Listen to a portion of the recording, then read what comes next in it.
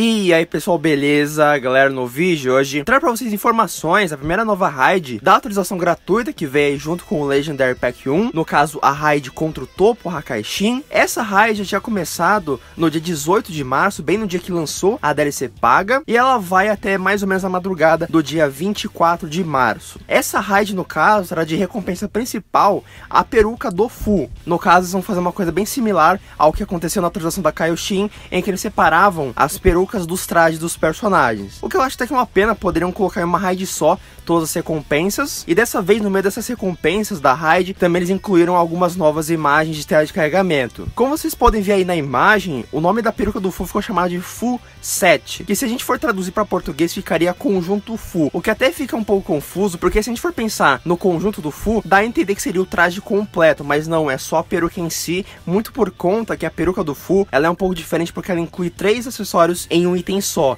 Não só terá a peruca por si próprio, como também teremos o óculos e a espada do Fu, tudo em um item. O que é até de um certo modo interessante, já que antes os acessórios do Xenoverse 2 não eram assim. No caso, como vocês podem ver na imagem, para vocês conseguirem a recompensa da peruca do Fu, vocês vão precisar causar uma pontuação total de 30 mil de dano na raid contra o topo. Para caso vocês não conhecem muito o funcionamento das raids e tudo mais, basicamente é o seguinte, quanto mais você joga raid, mais pontos você acumula. Então no caso você vai jogando independente se você for ganhar ou perder, e vai acumulando pontos. Você também pode aproveitar para ir no painel, que fica bem perto das batalhas online e offline em missões paralelas, e você poderá ver os seus pontos e seu ranking mundial, que é bem interessante. Lá você pode acompanhar quantos pontos vocês fizeram para ficarem de olho. O bom é que dessa vez essas raids até que estão com um bom tempo de duração. Antes duravam uns 3 a 4 dias e agora tá durando bem mais. E o que achei legal é que também, quando essa raid do topo acabar, a próxima raid vem logo em seguida, pelo que eu vi, duas horas depois que acabar a raid do topo, já vem a próxima raid. E claro, também vou trazer